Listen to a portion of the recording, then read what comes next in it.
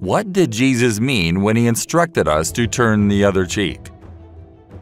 What did Jesus mean by turn the other cheek? Many people think this lesson teaches us to be passive and submissive when others are aggressive, wrongly suggesting we should accept mistreatment. This idea gets the lesson wrong. It's not about letting ourselves be victims, but about promoting peace and self-control. At the end of this video, you will have a better understanding of what Jesus meant.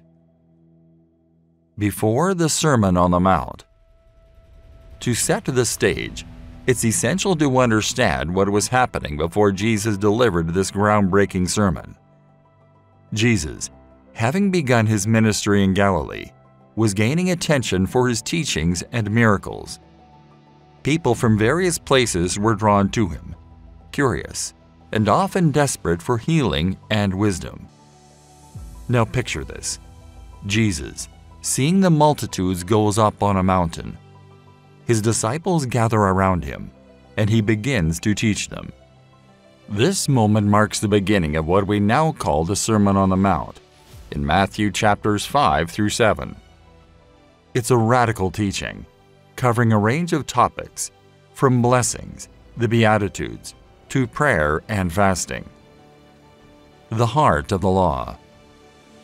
Why does Jesus start talking about the law, specifically an eye for an eye? Let's think about this for a moment. In those times, the Jewish law, as given through Moses, was central to the people's lives. An eye for an eye. Exodus chapter 21, verse 24. Leviticus chapter 24, verse 20 was actually a legal principle known as lex talionis. It was meant to provide fair justice, ensuring the punishment matched the crime, no more and no less. But here's the twist. Jesus takes this well-known principle and turns it upside down. You have heard that it was said, eye for eye and tooth for tooth. But I tell you, do not resist an evil person. If anyone slaps you on the right cheek, turn to them the other cheek also. Matthew chapter 5 verses 38 through 39. What's happening here? Jesus isn't discarding the law, he's deepening it, moving from mere legalism to the heart's attitudes.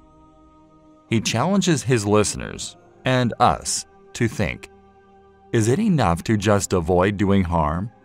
Or are we called to actively seek peace and forgiveness? The right cheek. Now, imagine someone slapping you on the right cheek. In a right-handed world, this would likely be a backhand slap, considered highly insulting. Jesus is not telling us to be passive in the face of abuse. Rather, he's teaching a radical form of nonviolent resistance by turning the other cheek, the person struck is saying, I refuse to retaliate, but I also refuse to be humiliated. It's a powerful act of dignity and strength, not weakness. Should we take this instruction literally? It's not always about not fighting back. It's more about a rule. When faced with hostility, don't seek revenge. Instead, Stand your ground in a peaceful way that shows the unfairness and aims to do what's morally right. The larger message. This teaching fits into the larger message of the Sermon on the Mount. Jesus is calling his followers to a higher standard, not just following rules, but transforming hearts.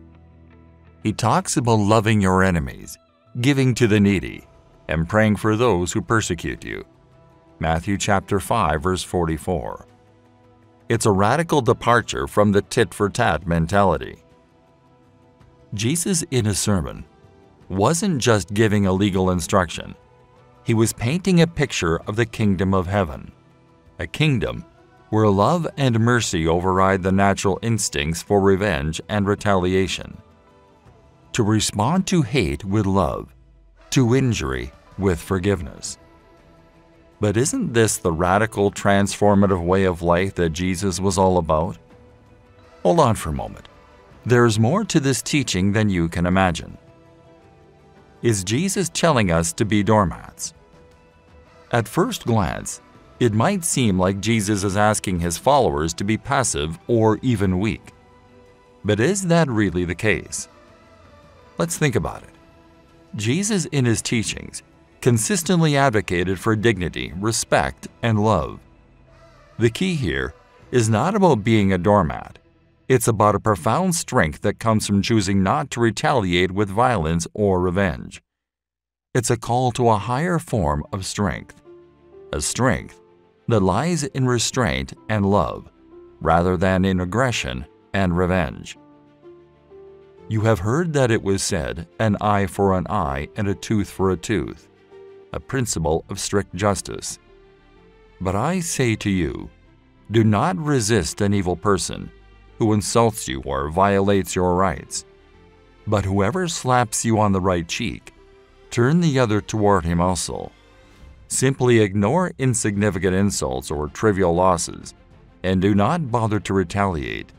Maintain your dignity, your self-respect, your poise. Matthew chapter 5 verses 38 through 39. It goes against our natural instincts.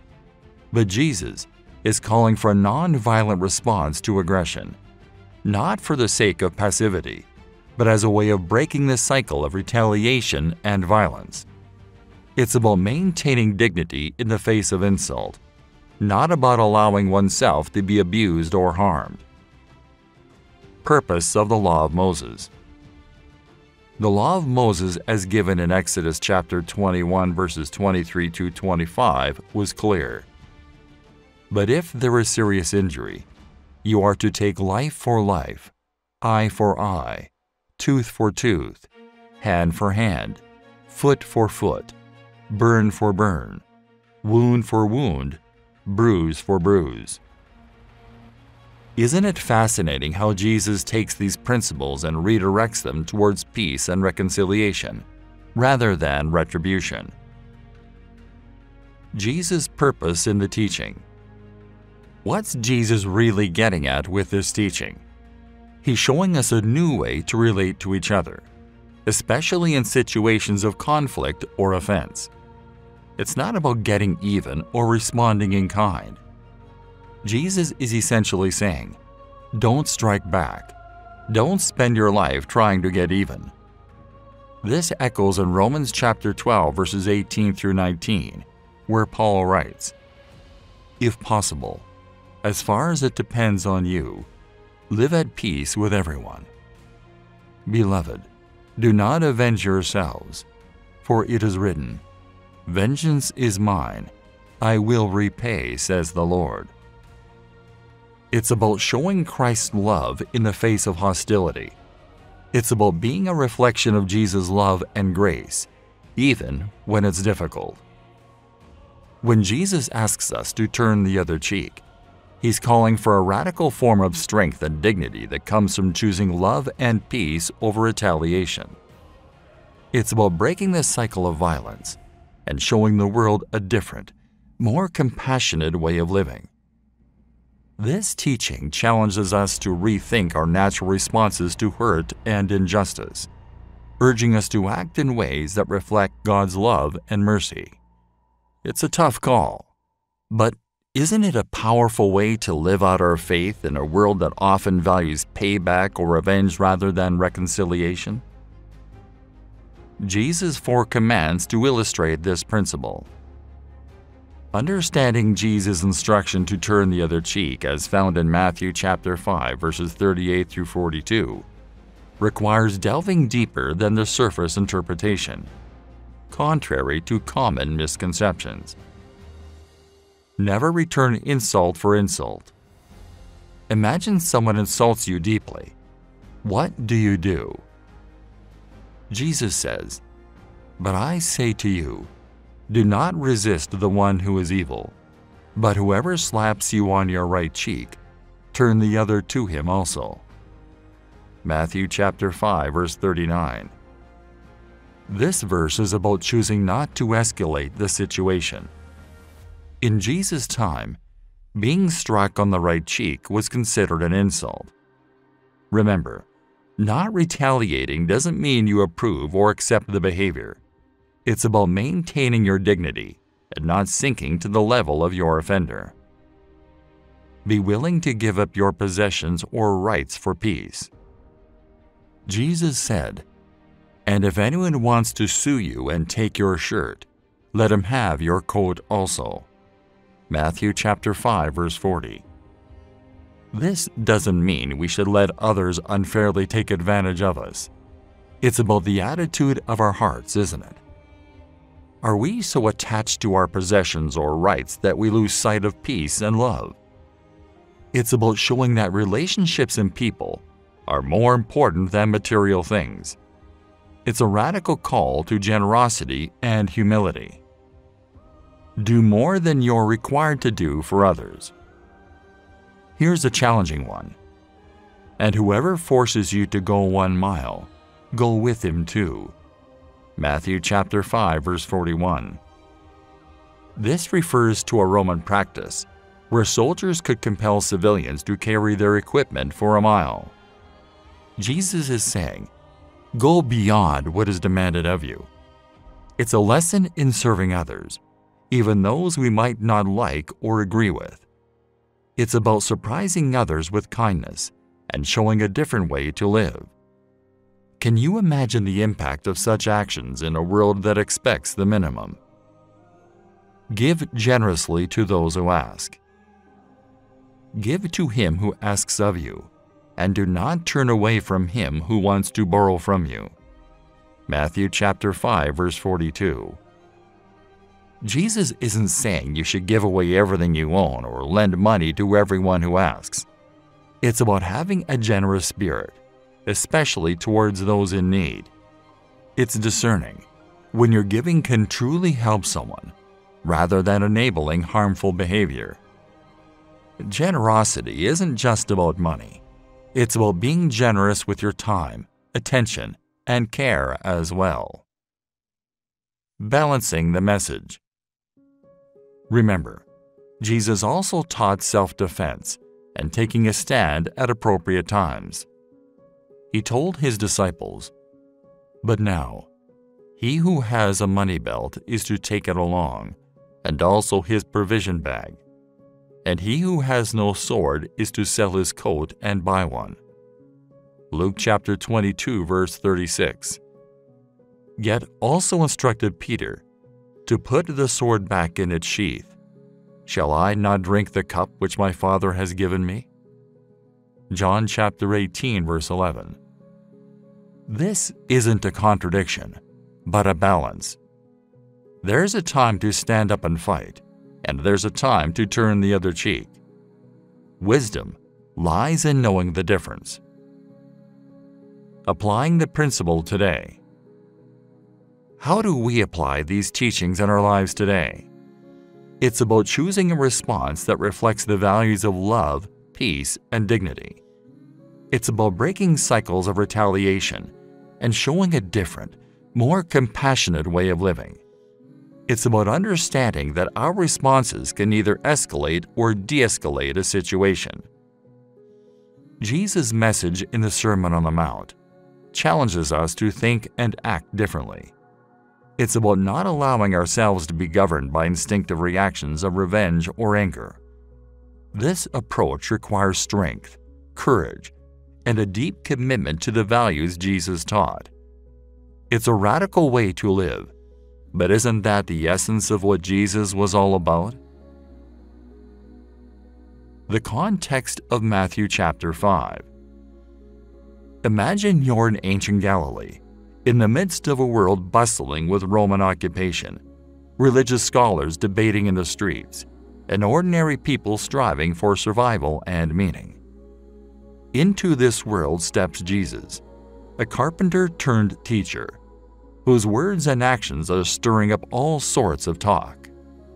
People are curious, skeptical, and in some cases desperate for hope. Now picture this. Jesus, seeing a large crowd gathering, decides it's time for a teachable moment. He climbs a mountain, not for solitude this time, but as a stage for one of the most revolutionary teachings in human history. His disciples and a diverse crowd, including skeptics and seekers, gather around. This is the setting for what we now call the Sermon on the Mount. Jesus begins with the Beatitudes. Blessed, spiritually prosperous, happy to be admired are the poor in spirit, those devoid of spiritual arrogance, those who regard themselves as insignificant. For theirs is the kingdom of heaven, both now and forever. Matthew chapter 5 verse 3.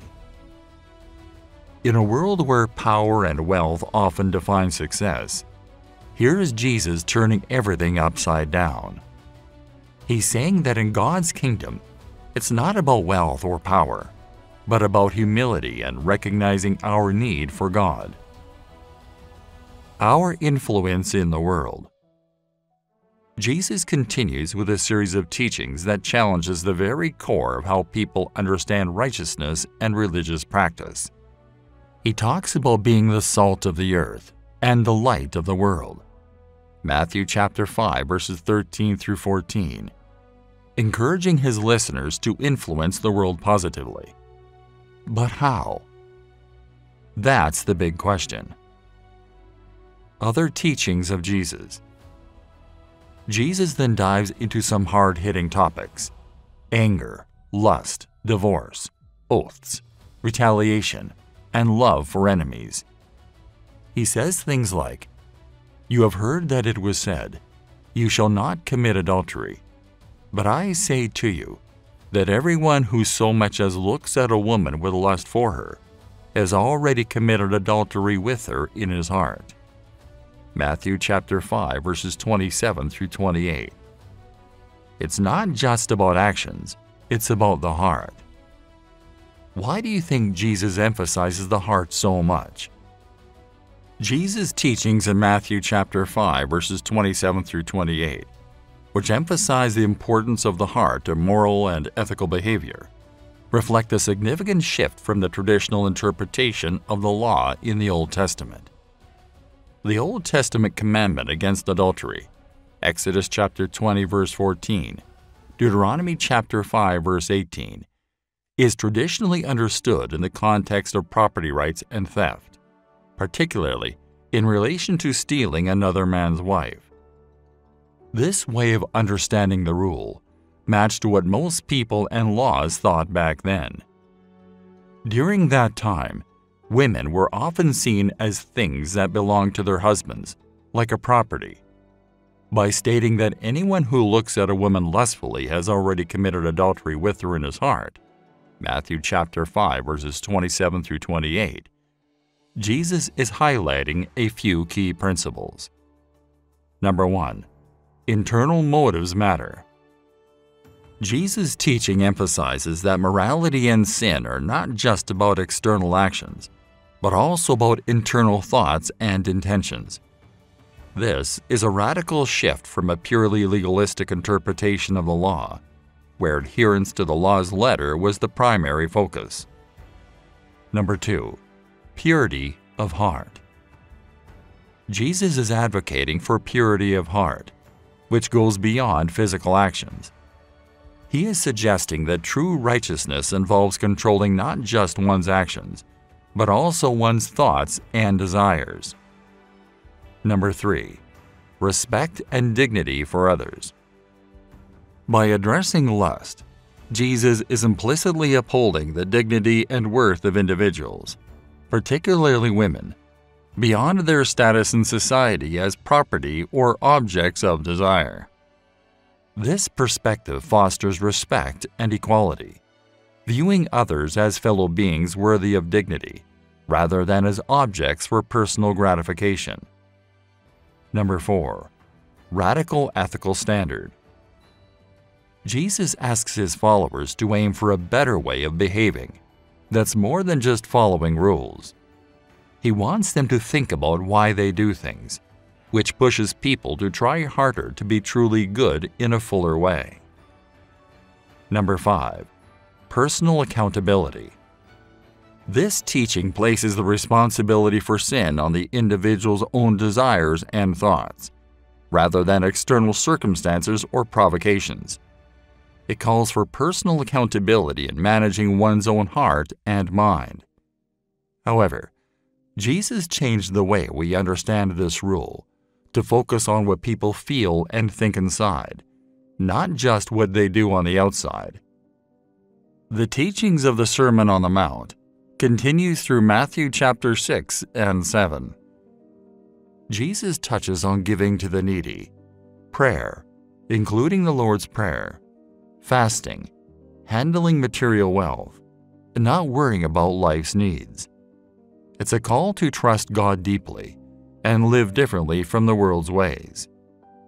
He cautions about not being quick to judge others, talks about the importance of continuously asking in prayer, and explains how to tell real followers from fake ones. The talk ends with a well known story comparing smart builders to foolish ones. Jesus says, So everyone who hears these words of mine and acts on them will be like a wise man, a far sighted, practical, and sensible man, who built his house on the rock. And the rain fell, and the floods and torrents came, and the winds blew and slammed against that house. Yet it did not fall, because it had been founded on the rock. And everyone who hears these words of mine and does not do them will be like a foolish, stupid man who built his house on the sand. And the rain fell, and the floods and torrents came, and the winds blew and slammed against that house, and it fell, and great and complete was its fall. Matthew chapter 7 verse 24. Isn't that a powerful image of what it means to live out his teachings? When Jesus finishes, the crowd is amazed. They've never heard anyone teach like this. He wasn't just another rabbi. He spoke with authority, directly challenging the established norms and inviting people into a new way of life. A life that changes on the inside, not just doing what everyone else does on the outside. So, what does all this mean for us today? Jesus' teachings in the Sermon on the Mount continue to challenge and inspire. They call us to examine our hearts, our motives, and our actions. They invite us into a life of deeper righteousness, rooted in love, mercy, and justice. It's not just about following rules. It's about a transformation that starts from within and radiates outward. In essence, the Sermon on the Mount is Jesus' manifesto for life in God's kingdom. It's radical, countercultural, and deeply challenging. But it's also a vision of life as God intended a life marked by peace, justice, and a love that changes the world. What is the historical background of Matthew chapter 5? Understanding the historical context of Matthew chapter 5 especially the teaching about turning the other cheek, requires diving into the world of first century Judea, a land under Roman occupation. This setting is crucial for grasping the depth and radical nature of Jesus' teachings. Picture this Israel, at the time Jesus spoke these words, was not a free country. It was under the heavy hand of the Roman Empire the Romans were known for their strict control and often harsh treatment of the territories they conquered. For the Jewish people, this meant living daily with the reality of being second class citizens in their own homeland. To understand this, we need to consider how Romans treated their subjects. Paul T. Penley, in his insightful analysis, points out a subtle yet significant detail about Roman soldiers and how they struck people. Roman soldiers, typically right handed, used a backhand slap to strike their Jewish subjects. This was not just a physical assault, it was a calculated insult, a way to enforce their superiority and the Jews' inferior status. This backhand slap, as Corey Farr explains, wasn't just a slap. It was a symbol of oppression and humiliation. It was what you'd do to someone you considered inferior, like a slave. So when Jesus says to turn the other cheek, what's really going on? Imagine the scene. A Roman soldier backhands a Jewish person, striking the right cheek. If the person turns the left cheek, what happens next? The soldier can't use his left hand. That's culturally inappropriate, even unclean. His only option was to use an open hand slap, which was how equals were treated. So, in a sense, by turning the other cheek, the oppressed person silently asserts, I am your equal. I refuse to be humiliated. This act of turning the other cheek is a subtle, yet powerful statement of dignity and resistance. It's saying, You can hit me, but you can't take away my humanity. Isn't that an incredibly courageous way to stand up to injustice? This idea of accepting suffering with dignity wasn't new to the Jewish people.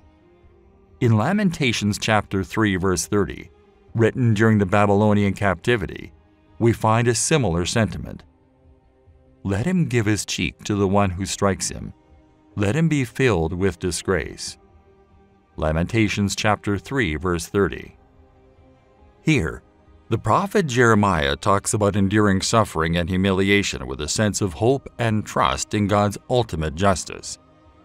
So, when Jesus tells his listeners to turn the other cheek, he is tapping into a deep cultural and religious vein.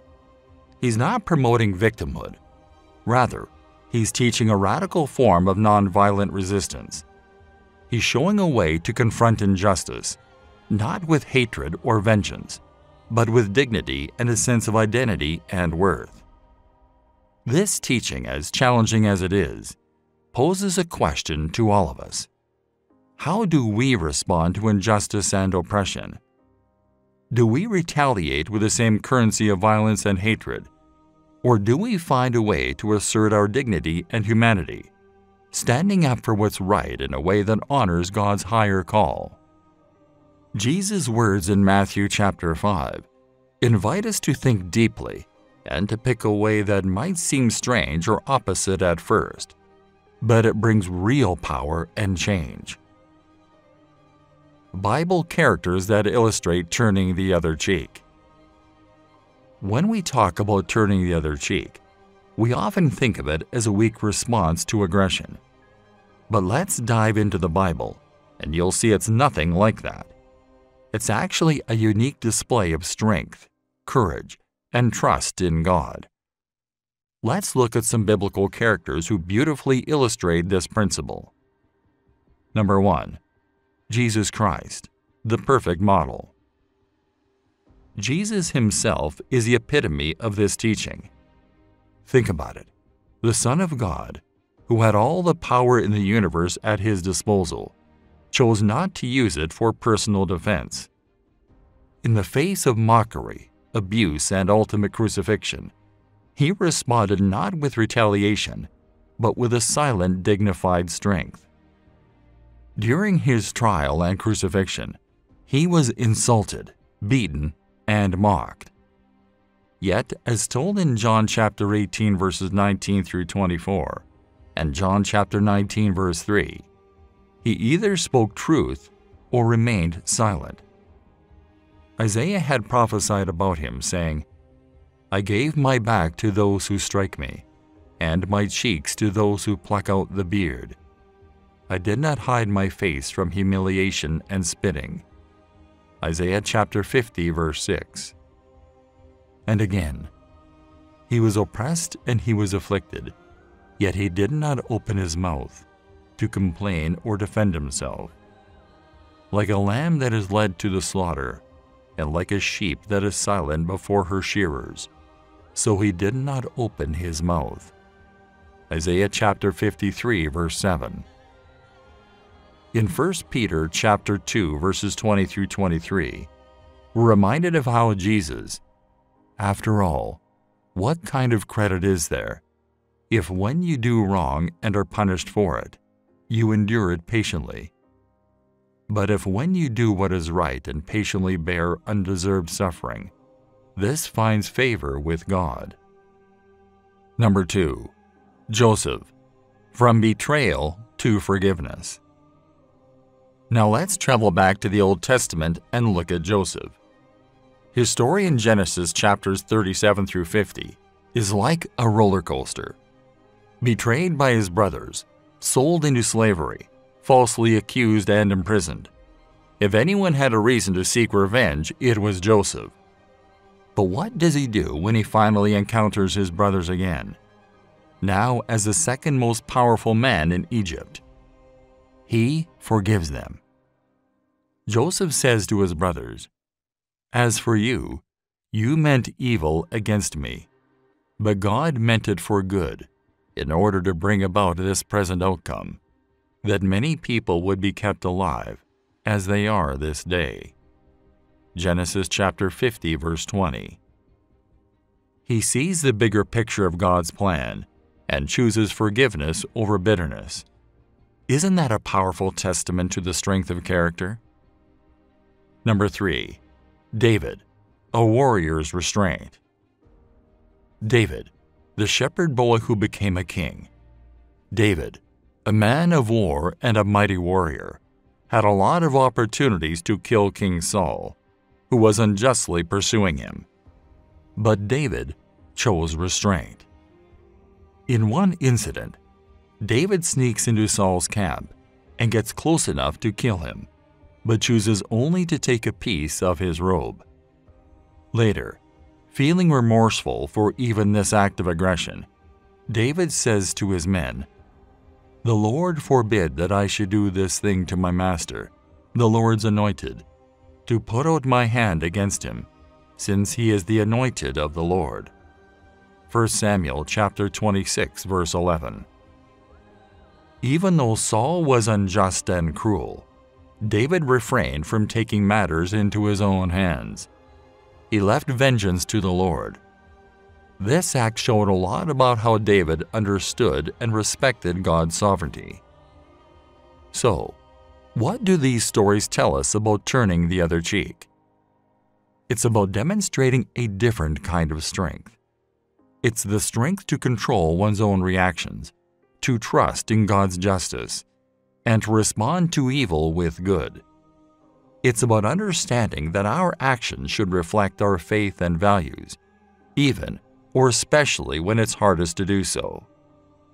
Turning the other cheek, as Jesus and these biblical characters show us, is a courageous, active stance against injustice. It's choosing to respond in a way that aligns with God's character, with grace, mercy, and trust in His ultimate plan. Isn't that an incredibly challenging, yet rewarding way to live? balancing of personal response and governmental authority. Like in Proverbs chapter 24 verse 11, where Solomon talks about rescuing those being led to death, does that imply physical intervention? Or Exodus chapter 22 verse 2, which says it's okay to defend your home, even if it means the thief gets killed. These verses suggest there's a time for defensive action. But remember, they're talking about protection and justice, not vengeance or aggression. Here's where it gets interesting. The Bible makes a distinction between personal ethics and governmental responsibilities. Romans chapter 13 verses 1 through 4 tells us that governing authorities are established by God to maintain order and justice. They have the right to use force if necessary to restrain and punish evil. So, while as individuals we're called to turn the other cheek, the government has a different role in dealing with wrongdoing. So, is turning the other cheek the same as pacifism? One thing you should know is that it's not a blanket rule for all situations, but a guideline for personal conduct that emphasizes love, humility, and trust in God's justice. In a world that often glorifies retaliation, Turning the other cheek is a radical call to live out a higher standard of love and peace. Isn't that a challenging, yet a unique way to navigate life's complexities? How should we respond when we are wronged? When we are wronged, it's like being at a crossroads with multiple sides pointing in different directions. It's easy to follow the path of retaliation or bitterness. But what does the Bible suggest as the better route? Number 1. Embrace humility like Jesus. Jesus is our ultimate example here. He was the Son of God, yet he chose to take on the role of a servant. Despite being mocked, betrayed, and ultimately crucified, he remained humble and submitted to God's will. Imagine that. The creator of the universe, choosing not to assert his power, but instead showing humility. It's beautifully summarized in Philippians chapter 2 verses 7 through 8, where it says Jesus, but emptied himself without renouncing or diminishing his deity, but only temporarily giving up the outward expression of divine equality and his rightful dignity, by assuming the form of a bondservant and being made in the likeness of men. He became completely human, but was without sin, being fully God and fully man.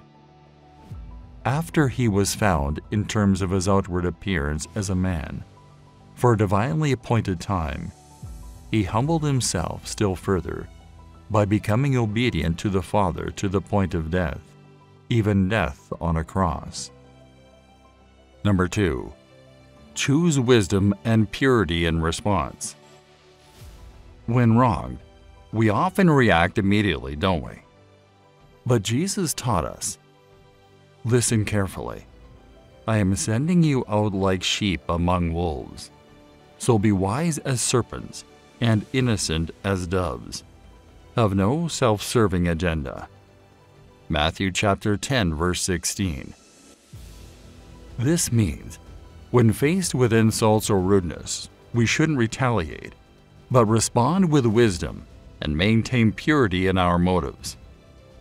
Sometimes, it's better to remain silent than to lash out. As Proverbs chapter 15 verse 1 says, A soft and gentle and thoughtful answer turns away wrath, but harsh and painful and careless words stir up anger. Number 3 keep your eyes on Jesus. Matthew chapter 5 verse 39 advises us not to resist an evil person. This doesn't mean we become passive or apathetic towards evil. Instead, it's about keeping our focus on Jesus and seeking God's perspective in the situation. Remember Romans chapter 12 verses 17 through 19. Never repay anyone evil for evil, Take thought for what is right and gracious and proper in the sight of everyone. If possible, as far as it depends on you, live at peace with everyone. Beloved, never avenge yourselves, but leave the way open for God's wrath and His judicial righteousness. For it is written in Scripture, Vengeance is mine, I will repay, says the Lord. Number 4. Be a peacemaker, not a troublemaker. Jesus calls us to be peacemakers, not instigators or agitators. This means not acting sinfully on our emotions or making a mountain out of a molehill. Seeking peace doesn't mean ignoring wrongs. It's about addressing them in a way that aims for reconciliation and harmony. Number 5. Love, pray, and bless your enemies. It seems like it doesn't make sense, doesn't it? But Jesus said, But I say to you, love, that is, unselfishly seek the best or higher good for your enemies, and pray for those who persecute you. Matthew chapter 5 verse 44. This kind of selfless love reflects the grace of God. It's about showing kindness to those who may not deserve it and praying for them, which in turn changes our own hearts and attitudes. Blessing those who hurt us is a powerful way to demonstrate Christ's love in action. Number 6. Stand against wickedness with wisdom and discernment. This is important. Turning the other cheek doesn't mean allowing continuous abuse or harm. It's not about being a doormat. In situations of serious abuse or danger, it's important to seek wise counsel and take appropriate action. This might mean setting boundaries, removing oneself from harm's way, or dealing with the situation from a position of strength and dignity in Christ. It's about responding in a way that upholds your worth and dignity, while still striving to reflect Christ's love and forgiveness. So, how should we respond when we're wrong? It's about balancing humility, wisdom, and love with the courage to stand against injustice in a Christ like way. It's not easy, and it often goes against our natural human feelings. But by doing so, we align ourselves with God's heart, reflecting His grace and mercy in a world that desperately needs it. Remember, it's not just about how we act, but why, and with what attitude we do so. That's what makes all the difference, don't you think? Common misinterpretations. In the world of Christian teachings, there's a verse that often gets misinterpreted, leading to some confusion about how we should respond when wronged. For example, Christians should not retaliate at all. Some people think that if you're a Christian and someone wrongs you, you should just take it and not do anything. But is that really what Jesus meant? Let's look a little closer. He wasn't suggesting that we should let people harm us or that we should stay in dangerous situations. So, what's the real message? It's about not responding with revenge or aggression. Jesus is guiding us away from the cycle of retaliation. Christians shouldn't react when they or others are hurt. Some think that if you're a Christian, you shouldn't react at all when you see injustice or when someone is being hurt. But let's think about that. Does it really make sense? Actually, we are called to respond, but in a way that aligns with Christ's teachings. This response isn't about getting back at someone or being passive bystanders. Instead, it's about engaging actively, but not through revenge or violence. We're called to be part of the solution, standing up for what's right and sharing God's love and truth. We are tasked with spreading the gospel, and sometimes this means standing up against wrongs and injustices, but always with love and not with the intent of revenge. Consider Proverbs chapter 20 verse 22. Do not say, I will repay evil. Wait expectantly for the Lord, and he will rescue and save you.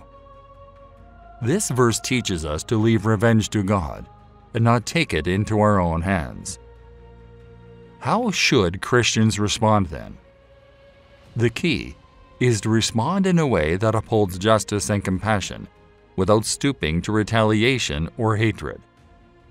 We can stand against wrongdoing and protect ourselves and others, but always through the lens of Christ like love and forgiveness.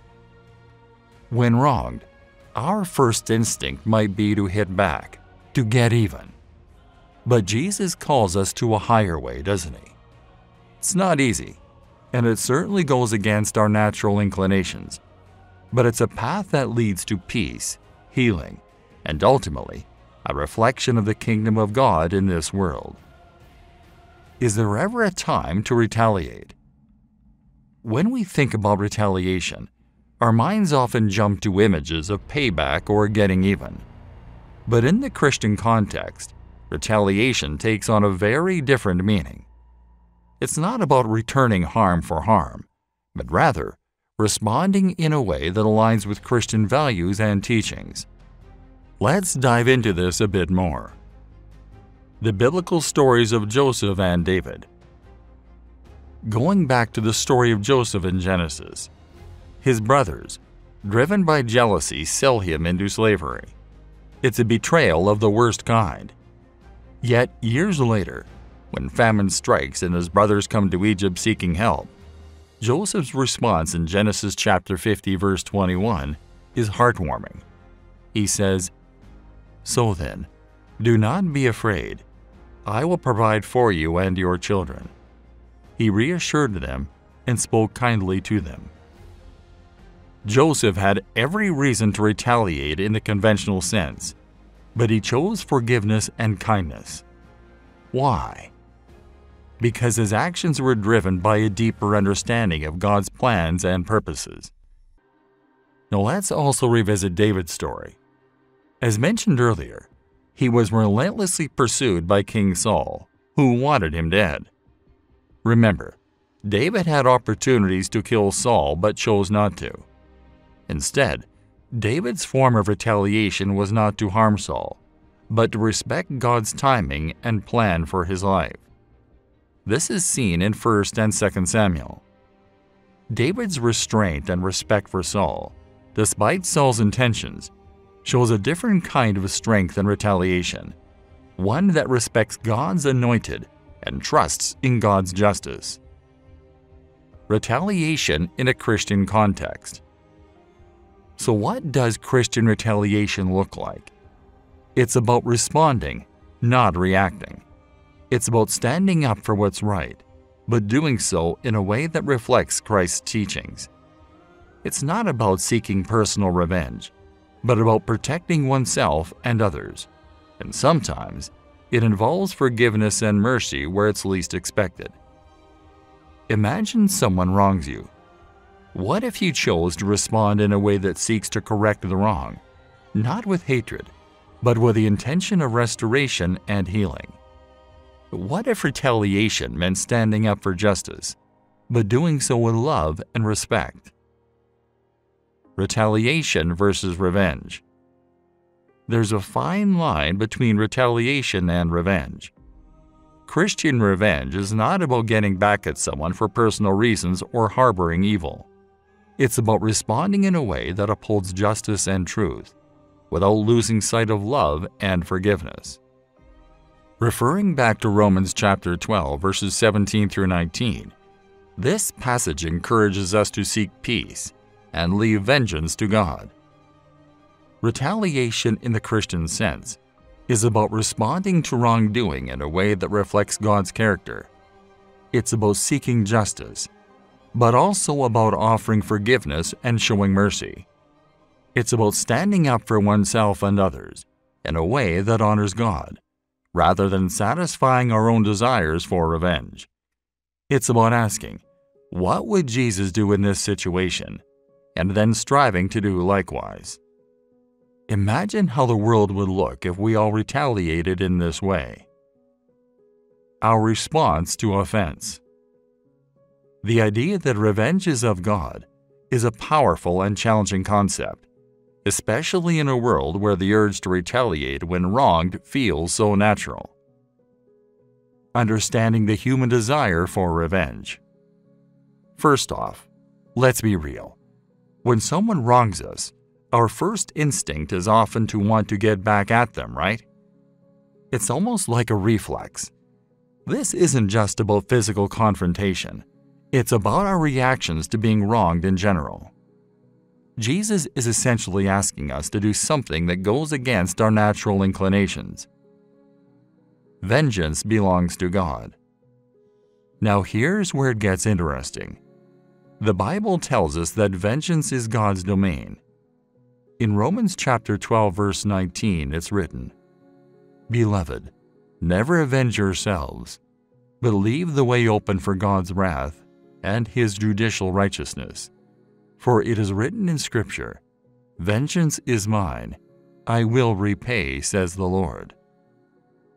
This doesn't mean that God is vengeful in a petty human way. Instead, it's about God being the ultimate judge, who sees the full picture and can administer justice perfectly. This is a tough pill to swallow, but think about it. If we all took revenge into our own hands, wouldn't the world be an endless cycle of retaliation? correcting and rebuking with love. So, what are we supposed to do when faced with evil or wrongdoing? The Bible guides us to correct and rebuke evil, but it emphasizes doing so with God's Word and in a spirit of love. In 2 Timothy chapter 4 verse 2 it instructs, Preach the word as an official messenger. Be ready when the time is right, and even when it is not. Keep your sense of urgency, whether the opportunity seems favorable or unfavorable whether convenient or inconvenient, whether welcome or unwelcome. Correct those who err in doctrine or behavior. Warn those who sin. Exhort and encourage those who are growing towards spiritual maturity with inexhaustible patience and faithful teaching. It's about engaging with the world in a way that reflects God's character. Conclusion Jesus' teaching in Matthew chapter 5 verses 38 through 39 can be summarized into three key principles. Number 1. The principle of non-retaliation.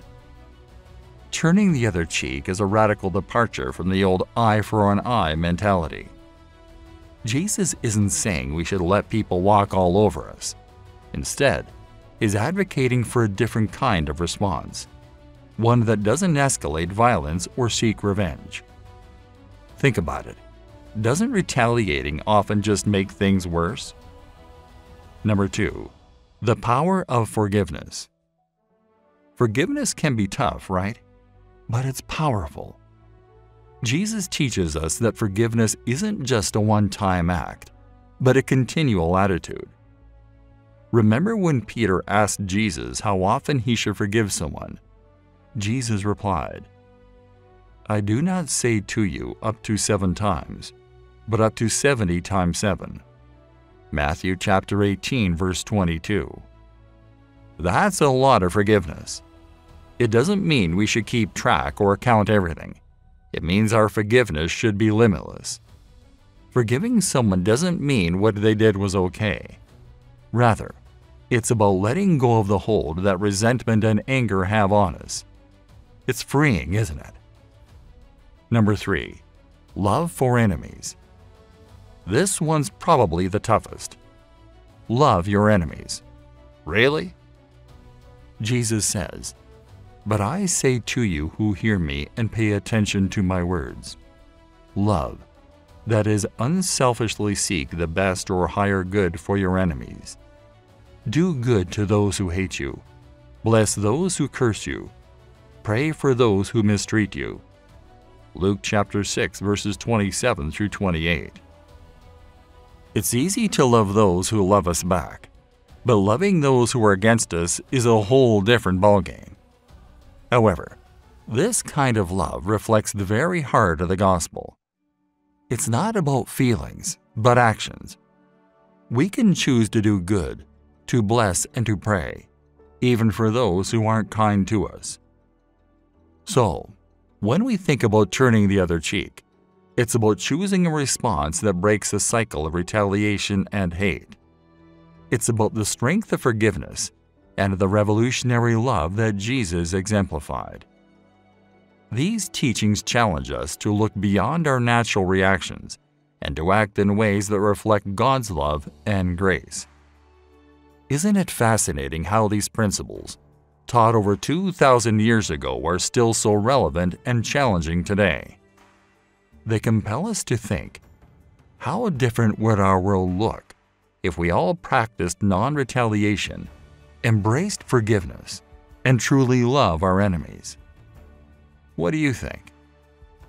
So, how do we in our own lives turn the other cheek? It's a challenge to respond to anger, insult, or injustice not with retaliation, but with grace and courage. Turning the other cheek is about forgiveness, restraint, and responding with love. Let us pray. Dear Heavenly Father, in the stillness of this moment, we come before you with open hearts, seeking to understand the unique teaching of your Son, Jesus Christ.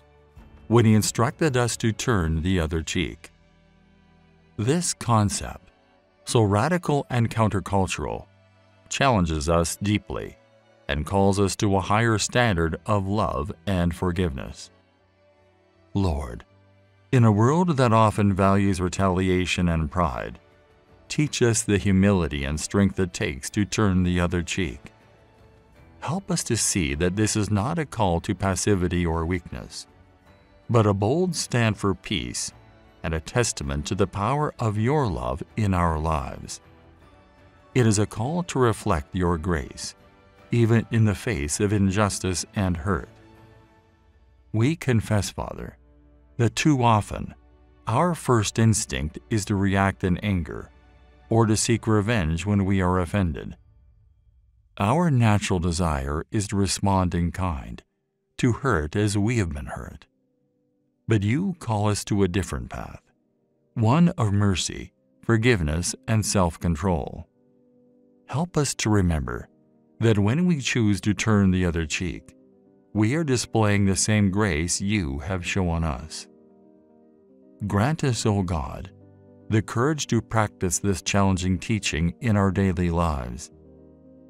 When we are confronted with criticism, misunderstanding, or hostility, empower us to respond not with bitterness or aggression, but with patience and a spirit of forgiveness. Let our actions be guided by love and a deep desire for reconciliation, not by the desire to prove ourselves right. As we endeavor to live out this command, we ask for your wisdom. We understand that turning the other cheek does not mean allowing ourselves to be continuously harmed or abused. Give us discernment to know when to stand firm in our principles and when to walk away in peace. We lift up all those who find themselves in situations where it is especially hard to turn the other cheek.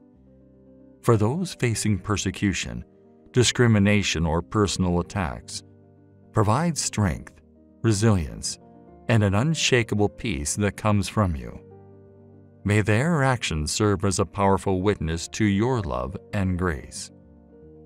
Father, in our relationships with family, friends, colleagues, and even strangers, help us to be ambassadors of your peace. Teach us to handle conflicts with a spirit of gentleness and respect, always ready to forgive and seek forgiveness. May our willingness to turn the other cheek be a light in this world, pointing others to the transformative power of your love. We also pray for those who may have wronged us you have called us to love our enemies and pray for those who persecute us. In obedience to your word, we lift them up to you now. We ask that you work in their hearts as well as ours to bring healing and reconciliation. Where there is hatred, sow love. Where there is injury, pardon. And where there is discord, union. Lord, as we reflect on the example of Jesus, who himself turned the other cheek in the face of unimaginable suffering and injustice, fill us with gratitude. His sacrifice on the cross was the ultimate act of love and forgiveness, a gift that we can never repay. May our lives be a continual thanksgiving for this gift, expressed in how we treat others. Finally, we ask that you continue to mold us into the image of your Son. Each day, as we encounter trials and tribulations, help us to remember His words and to live them out. May our lives be a testament to the power of turning the other cheek, the power of your unending love and grace. In the precious name of Jesus we pray. Amen.